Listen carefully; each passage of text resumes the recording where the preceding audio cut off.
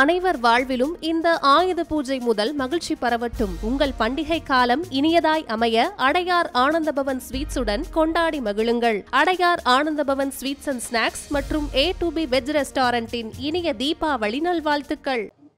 தமிழ்நாட்டிலே கூட்டணி ஆட்சியை உள்ளபடியே அமைக்க விரும்பினால் அதிமுக அதற்கு குரல் கொடுக்க வேண்டும்.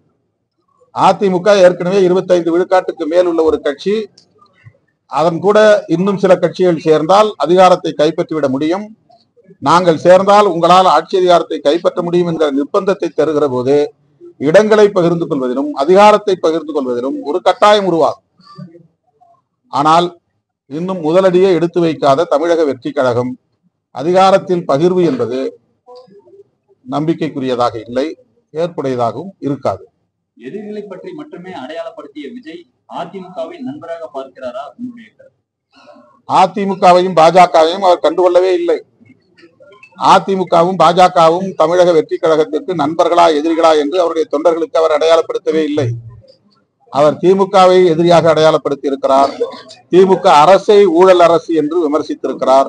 திமுக எதிர்ப்பு நெடி என்பது திமுக அரசுக்கு எதிரான அரசியல் என்பதுதான் மேலோங்கி இருக்கிறது. ஆனால் இது பழைய முழக்கம்தான்.